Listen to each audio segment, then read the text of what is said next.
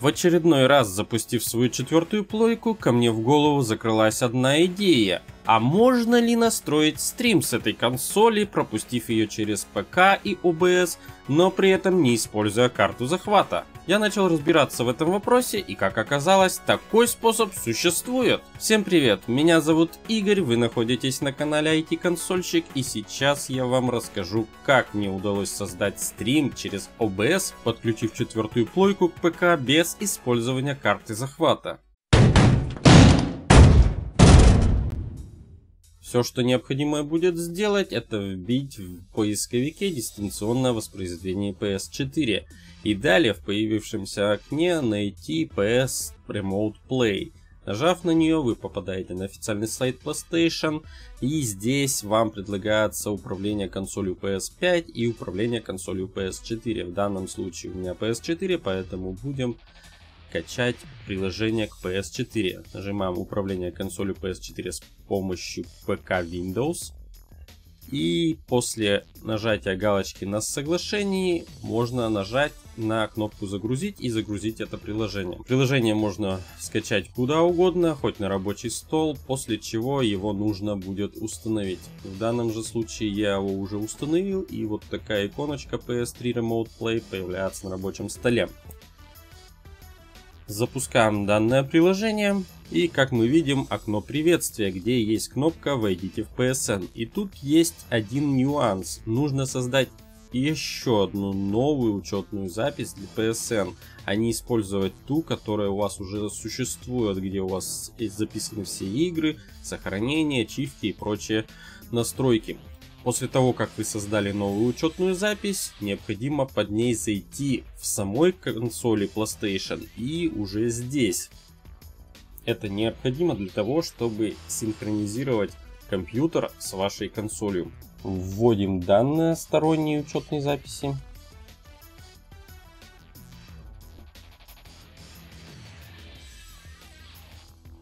После ввода данных нажимаем на кнопку подтвердить и продолжить и у нас предстает окно, в которое вам предлагается выбор какой системе подключиться PS5 или PS4. Но перед этим давайте сделаем небольшие настроечки, нажав на шестереночку и зайдя во вкладочку качество видео при дистанционной игре.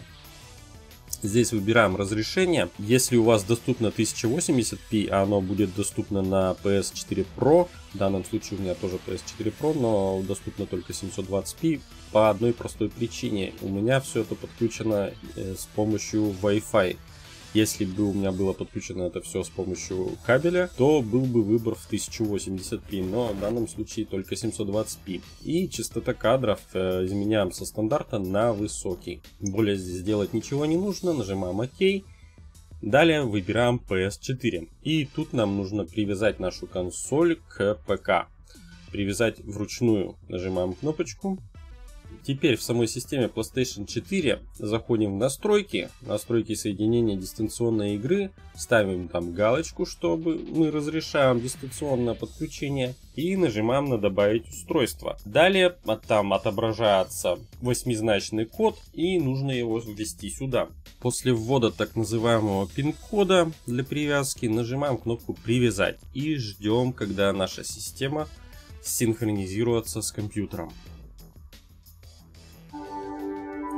Вот, как вы видите, синхронизация прошла успешно, и мы видим уже окно э, нашей консоли.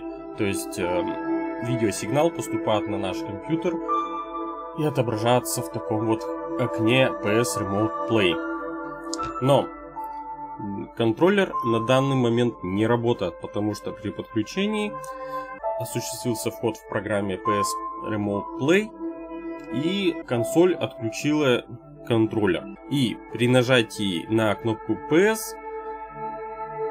контроллера он предлагает войти в систему. И если я выберу ту же учетную запись, в которой я вошел в PS Remote Play, то консоль отключится и отключит ваш геймпад.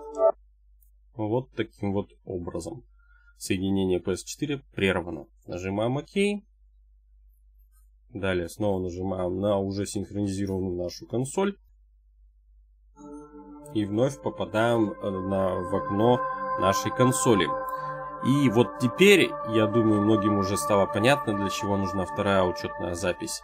Э, нажав снова на PS кнопочку, выбираем нашу уже рабочую учетную запись со всеми играми. Входим в нее и теперь уже ничего не отключается, то есть контроллер не отключается, изображение э, у нас остается, синхронизация с консолью и все прекрасно работает. Вот. Вот наши игрушки все наши настроечки, все необходимое. Ну а теперь все, что касаемо настройки самого OBS. Запускаем наш OBS.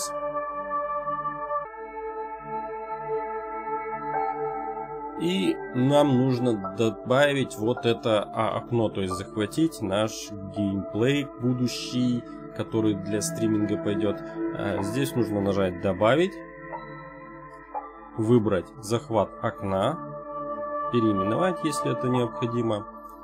И здесь выбрать в поле окно Remote Play PS Remote Play. Вот таким вот образом. Окей. Вытянуть по ширине окна. И переместить его в то место, где оно будет наиболее актуальным. То есть не будет перекрывать ваши другие э, виджеты, так скажем.